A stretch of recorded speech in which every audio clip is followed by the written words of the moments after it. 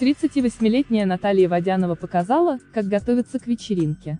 Супермодель примерила соблазнительный комплект, в котором готова танцевать до утра. Мама пятерых детей выглядит обворожительно в черном Total Look. Наряд звезды подиума состоит из черного трикотажного кроп-топа и мини в тон. Завершением образа модели стали грубые ботинки на тракторной подошве. Аккуратная укладка и минимум макияжа стали финальными штрихами всего ансамбля.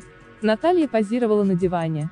Многодетная мама приняла красивую позу, которая продемонстрировала ее точеную фигуру и тонкую талию. Поклонники восхитились снимком модели. Наташенька, в пост так нельзя фотографироваться. Ботиночки надо было снять, зеркало раскрыло тайну личности фотографа. Чудесная пара, смотришь и чувствуешь это через экран. По-доброму завидую всем, кто порадуется за вас на вашей свадьбе, чудная девушка. А поза еще лучше жених в зеркале, написали фоловеры в Инстаграм.